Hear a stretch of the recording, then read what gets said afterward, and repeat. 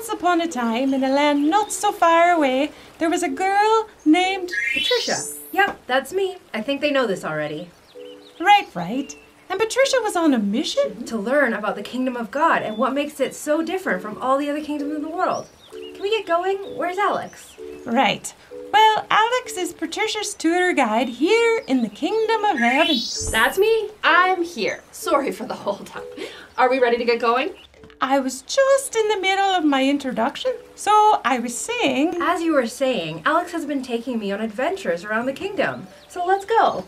Aye, fine. You guys go have fun. I'll just be over here if anybody needs me. Thank you, narrator. I think I can take it from here. All right, Patricia, I have a very special adventure for us today, so here we go.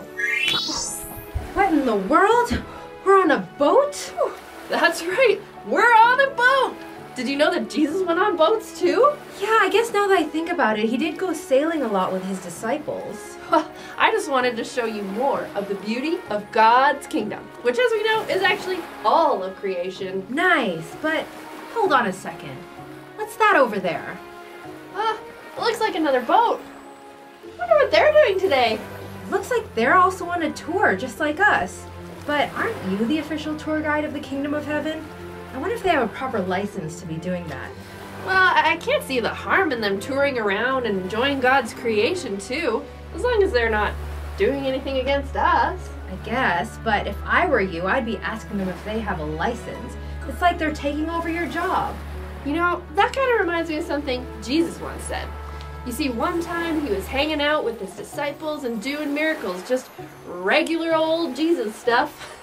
and then they came across someone else who was also doing miracles. What? How could anyone do miracles other than Jesus and his disciples?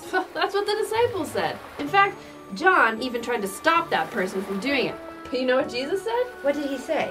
Well, he said not to stop them, because whoever is not against us, well, they're for us. Huh, really? Well, that's surprising. Yeah, Jesus wasn't upset or jealous when others were also doing miracles like he was, because that means that God's power and goodness is being seen everywhere. There's always more of God's goodness to go around. In the world, people are always competing against each other, but it doesn't seem to be that way here in the kingdom of God. There's no need for competition here. We're all a part of God's great big family. So long as someone isn't doing harm and is actually doing good, then they're on our team too. Like those guys over there. Hey! It kind of makes me think about how, as Christians, we sometimes have our differences.